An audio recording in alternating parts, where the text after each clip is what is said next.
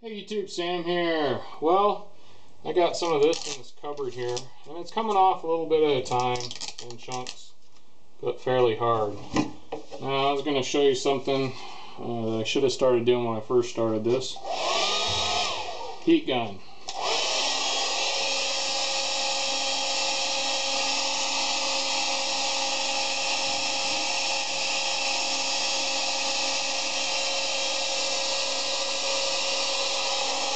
Don't let it get too hot or it'll come off, start melting almost.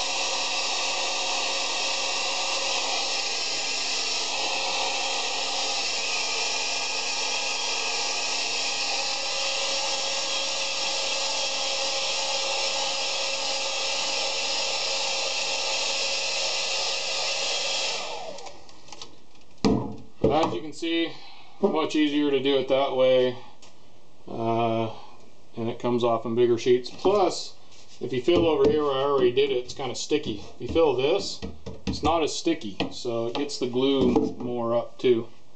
Alright, this is Sam, Jack of all, Master none. You all have a good one.